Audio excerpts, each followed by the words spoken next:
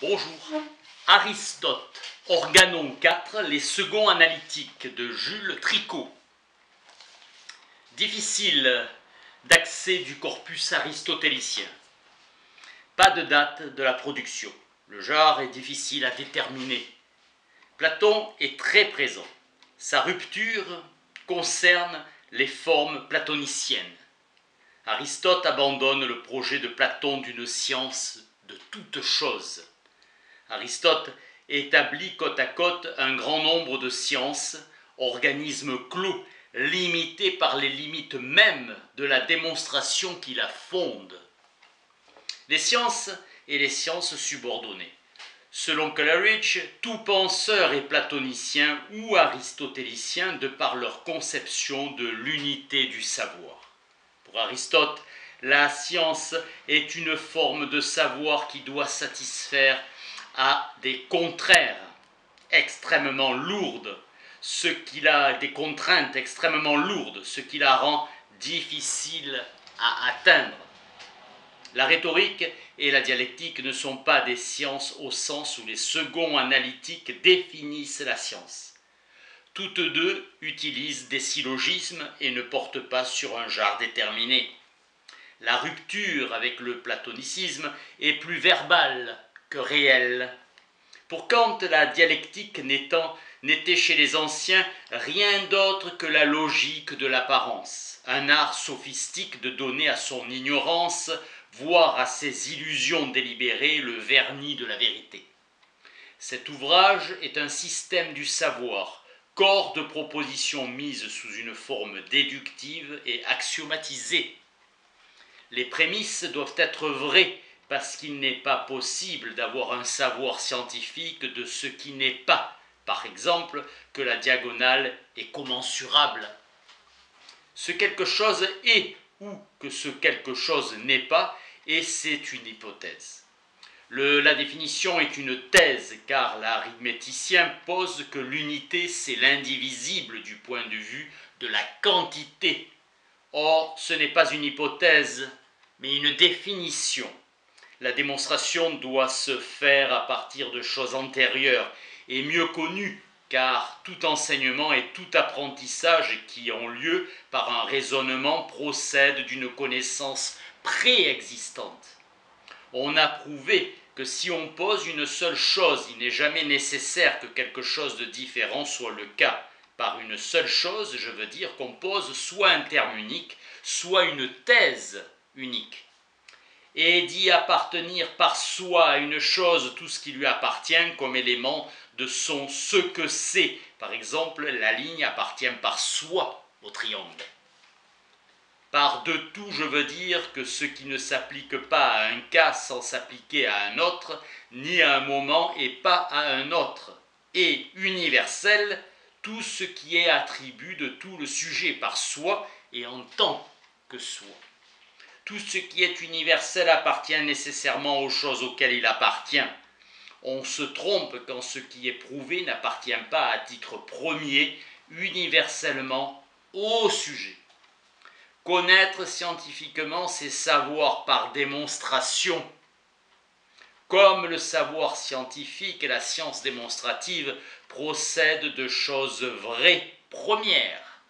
Une démonstration est un syllogisme scientifique. Le syllogisme procède de prémices nécessaires. La conclusion est nécessaire de prémices vraies, vient toujours du vrai. La démonstration arithmétique a toujours pour genre celui à propos duquel la démonstration a lieu, et il en est de même pour les autres démonstrations. Il est nécessaire que le genre soit le même. Il n'est pas possible de démontrer ce qui relève d'une science par une autre science, à moins qu'elle ne soit subordonnée. La démonstration prise dans un sens absolu est éternelle. Il n'est pas possible de démontrer les principes propres de chaque chose. Il faut que les conclusions soient du même genre que les prémices. Les principes ne sont pas démontrables à l'intérieur du genre de la science dont ils sont principes. Les trois éléments de la science démonstrative. 1. Les choses dont on pose qu'elles sont. 2. Les notions communes qu'on appelle axiomes, notions premières à partir desquelles on démontre. 3. Les propriétés dont on admet que ce que chacune signifie. La démonstration ne concerne pas le discours extérieur, mais celui qui a lieu dans l'âme, puisque c'est la même chose pour le syllogisme. Nul besoin de forme platonicienne ou un 1 à partir du multiple pour qu'il y ait démonstration. Mais il est nécessaire qu'une chose appartienne à plusieurs autres, sans quoi il n'y aurait pas d'universel et donc pas de démonstration. Impossible d'affirmer et de nier en même temps, aucune démonstration ne l'admet. Toutes les sciences communiquent entre elles suivant les propositions communes et la dialectique communique avec toutes les sciences. Il n'est pas possible d'interroger quand on démontre. On ne refute pas un géomètre si ce n'est par accident. Les gens étrangers à la géométrie ne peuvent argumenter. Celui qui argumente de manière erronée passerait inaperçu. De même pour les autres sciences. Les syllogismes se développent par le fait d'admettre des prémices supplémentaires. Connaître scientifiquement le fait et le pourquoi sont des choses différentes. Les mathématiques portent sur les formes.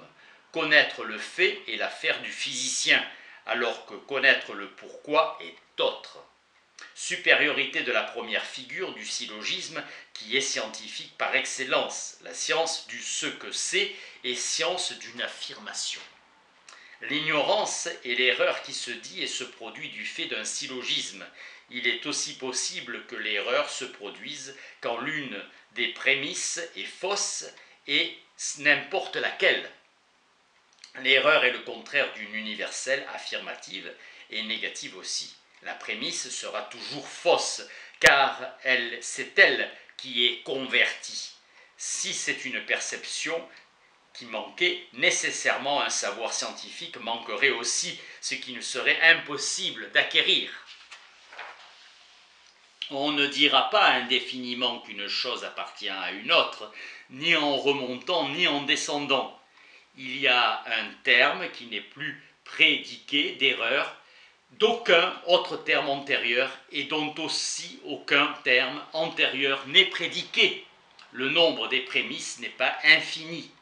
Il n'y a pas moyen de parcourir l'infini, cela même dont il y a démonstration, nous le connaîtrons pas par démonstration. Il n'y aura rien que nous connaîtrons scientifiquement au sens absolu, mais nous connaîtrons hypothétiquement. La démonstration porte sur ce qui appartient par soi aux choses, ce qui appartient au sujet en étant dans leur ce que c'est, et ce, ce que c'est de quoi les sujets appartiennent si tous les prédicats sont dits par soi et qu'ils ne sont pas en nombre infini, on s'arrêtera en remontant et en redescendant. Les intermédiaires sont toujours limités en nombre. Il n'y a pas de démonstration de toute chose. Tout n'est pas démontrable. Et il n'est pas possible d'aller à l'infini. Une proposition est une quand elle devient immédiate et une proposition unique au sens absolu est une proposition immédiate. Celui qui connaît universellement l'attribut sait mieux de quelle façon il appartient au sujet que celui qui le connaît particulièrement. La démonstration universelle est donc meilleure que la démonstration particulière. Notre connaissance est universelle. La démonstration universelle tend vers le simple et la limite les choses infinies, en tant qu'elles sont infinies, ne sont pas connaissables, mais en tant qu'elles sont limitées, elles sont connaissables scientifiquement. La démonstration universelle est intelligible alors que la démonstration particulière se termine dans la perception. Une prémisse affirmative est antérieure à une prémisse négative et plus connue qu'elle. C'est par l'affirmation que la négation est connue être est antérieur à ne pas être. Alors le principe de la démonstration qui prouve est meilleur que celui de la démonstration privative et une démonstration qui se sert du principe meilleur est meilleure. La démonstration qui part des prémices mieux connues est antérieure et supérieure. et que les deux démonstrations, la privative ostensive et la réduction à l'impossible, emportent la conviction à partir de ce qui n'est pas, mais l'une à partir de quelque chose d'antérieur, l'autre postérieur. La démonstration privative sera meilleure au sens absolu que celle qui est par réduction à l'impossible, si bien que la démonstration affirmative étant meilleure, elle est aussi meilleure que la réduction à l'impossible. Une science plus exacte qu'une autre science est antérieure à elle, et celle qui porte sur le fait aussi bien que sur le pourquoi, et non pas celle du fait sans le pourquoi. L'unité d'une science est une, la science qui est celle d'un genre, un, tout ce qui est constitué des éléments premiers du genre, c'est-à-dire de ses parties ou de leurs propriétés par soi. Une science est distincte d'une autre quand leurs principes n'ont pas d'origine commune, appartenir au même genre que ce qui est démontré contre l'indémontrable. Il n'y a pas de démonstration de ce qui relève du hasard, pas de science de démonstration. La démonstration s'occupe de ce qui arrive nécessairement ou la plupart du temps. Il n'y a pas de démonstration par la perception, pas de connaissance scientifique. Il est impossible de percevoir l'universel, ce qui concerne tous les cas, toujours et partout. Pas de savoir scientifique à travers la perception, car les démonstrations sont universelles et les universels ne sont pas perçus on perçoit nécessairement au niveau du particulier, alors que la science, c'est le fait de connaître l'universel. L'universel met la cause en évidence. Certains syllogismes sont vrais, certains sont faux. De toutes les vérités, il n'y a pas les mêmes principes. Un principe comme étant par exemple tout ce qui est affirmé ou nié. Les conclusions sont en nombre infini, alors que les termes sont en nombre fini. La science est universelle. L'opinion est quelque chose d'instable et c'est la nature de son objet qui est telle. Il n'est pas possible que quelque chose ou la même chose soit en même temps objet d'opinion et objet de science. Chez les, des personnes différentes, chacune de ces deux formes de savoir est possible à propos du même objet. En voyant les extrêmes, on prend connaissance de tous les moyens termes qui sont causes les quatre questions scientifiques. Le fait, le pourquoi, si c'est et ce que c'est. Exemple, si une éclipse existe, pourquoi la Terre se meut? Dans toutes les recherches, on cherche soit s'il y a un moyen terme, soit quel est le moyen terme, car le moyen terme est la cause, et dans tous les cas, c'est celle-ci que l'on recherche, cause de l'éclipse. Tout ce qui peut être démontré ne peut pas être, ne peut pas être défini. La définition apporte la connaissance d'une substance déterminée. Tout ce qui peut être défini ne peut pas être démontré. D'une chose une, en tant qu'elle est une, il y a une seule science. Soit les principes sont démontrables, principes des principes, et l'on dira ainsi à l'infini, soit les prémices premières seront des définitions indémontrables. Toute démonstration prouve quelque chose de quelque chose. Mais ce n'est pas la même chose de prouver de ce que c'est, le ce que c'est, et de prouver le fait que c'est. La définition montre le ce que c'est, alors que la démonstration montre qu'il est vrai que ceci est attribué à cela, tout ce qui n'est pas vrai ou que ce n'est pas vrai. Tout ce dont il y a définition, il n'y a pas de démonstration, et que tout ce dont il y a démonstration, il n'y a pas de définition. Et il n'est pas possible d'avoir les deux pour un même objet. C'est nécessairement par une démonstration que l'on prouve que toute chose est, sauf si c'est une essence. La démonstration aide à connaître le ce que c'est, même si on ne peut le démontrer. En prouvant une définition, par une autre. Rien de ce qui arrive par hasard ne se produit en vue d'une fin. On ne peut pas dire que puisque ceci a eu lieu, cela aura lieu. Rapport entre cause et effet. Dans le cours des choses, il y a une certaine génération circulaire, un processus. Terre mouillée, vapeur qui se forme, nuages, pluie et terre mouillée. Cercle. Certains événements se produisent universellement. On n'a pas besoin de connaître tous les étangs pour définir. Critique de Spezip. Toute définition est toujours universelle. Il est plus facile de définir le particulier que l'universel. C'est pourquoi il faut aller des particuliers aux universels. Ne pas définir par métaphore, car l'argumentation dialectique se fera nécessairement par métaphore. Une manière de choisir est de le faire par analogie. Les attributs suivront la propriété comme s'il existait une nature unique, déterminée. Une chose peut-elle avoir plusieurs causes? Oui, il est possible de prédiquer la même chose de plusieurs choses à titre premier. Le moyen terme est formule du majeur et c'est pourquoi toutes les sciences naissent par des définitions. Exemple, la solidification de la sève à la jonction de la pétiole qui fait perdre les feuilles. Il est possible qu'il y ait plusieurs causes de la même chose, mais pas pour les réalités de même espèce. La cause véritable est celle qui est la plus proche de la chose. La cause est cause du fait que le terme premier tombe sous l'universel.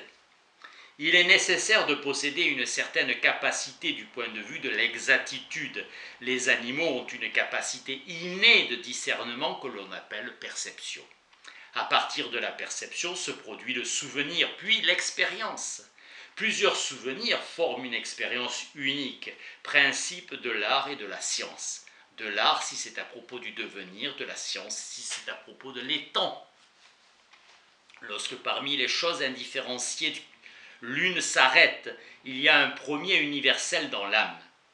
Il est donc clair que nous prenons nécessairement connaissance des termes premiers par induction. La perception produit ainsi en nous l'universel. Parmi les états intellectuels par lesquels nous saisissons le vrai, les uns sont toujours vrais alors que les autres admettent le faux, comme l'opinion et le calcul, alors que la science et l'intellection sont toujours vrais, toute science ayant un raisonnement. Il n'y a pas de science des principes. Outre la science, nous ne possédons pas d'autre genre vrai. L'intellection sera le principe de la science et le principe sera vis-à-vis du principe comme la science tout entière vis-à-vis de son objet tout entier. L'intellection est principe des principes des sciences, et la science saisit son objet avec la même certitude que l'intellection saisit les principes. Merci.